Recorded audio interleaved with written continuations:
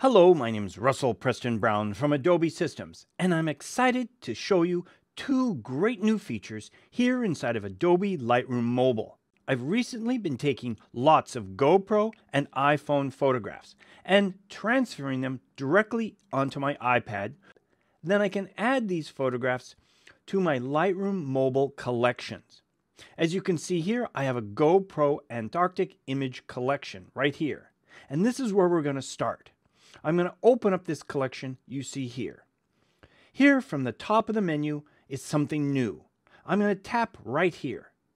As you can see, I can now have a flat or segmented way of viewing the images in this collection. I'm going to select segmented right there. It's now segmenting each of these images into the day and the year in which each of the photos was shot. In addition to that, if I've flagged any of these images, for example, with the picked setting, as you see here, I can tap on picked and then see only those images within this collection that have a flag of picked. So this is a great new feature. Let's take a look at the second feature that's been added to this new 1.3.0 version of Adobe Lightroom Mobile. I'm going to tap away from that menu and go right to this first image here. Now here's a GoPro Hero shot from Antarctica. You can clearly see the lens distortion here on the horizon. I'd like to remove this lens distortion, but there's no lens correction preset built into Lightroom Mobile. However, with this new feature found in this version of Lightroom Mobile, I can solve this problem. If I go back to my menu here, you can see here that I have some GoPro lens profiles that I've created. I created these inside of Adobe Lightroom on my desktop. And in this case, I have a GoPro Hero 4 lens profile that's been applied to this image. Now, check this out. I can now tap and hold on images here inside of Adobe Lightroom Mobile in this new version and now copy the settings for any image that I open up. In this case, I'm not going to be copying all of the settings. I'm only going to be copying the lens correction settings. So I'm going to select deselect all and scroll down to the lens corrections right here. All I do now is select OK. Now I'm going to return to the photograph that I was working on right here. I simply tap and hold once again and paste my settings. Check it out.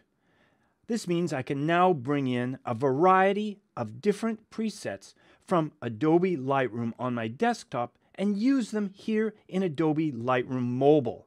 So you've now expanded all of your capabilities for working in Lightroom Mobile by merely synchronizing images with the presets that you want to use. But wait, there's more. I want to add a radial filter to this image. Once again, radial filters are not built into Adobe Lightroom Mobile. However, I can create an image inside of Lightroom on my desktop that has a graduated or radial filter applied to it. In this case, I've got one right here. This is the image that contains a radial filter. If I tap and hold on this image and select Copy Settings once again, I can now scroll down and select Local Adjustments right here and deselect Lens Corrections. Check this out. If I tap on the flyout menu here, you can see that Local Adjustments includes brush, graduated filters, and radial filters. I tap here on OK. And now I'm going to return to the image that I was working on right here. And let's open it up.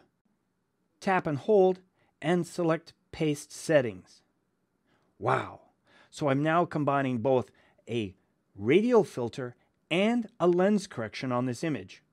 Let's go ahead and finish this off by tapping and holding on this image and copying the settings, but in this case, let's copy all the settings. So all of my adjustments for this image are copied and I tap OK. Because now I can move to a second image in this same sequence of images I took with my GoPro camera and paste all of those settings, including the lens correction and the radial filter adjustments. Wow! There you have it, some great new features found here inside of Adobe Lightroom Mobile version 1.3.0. Give it a try.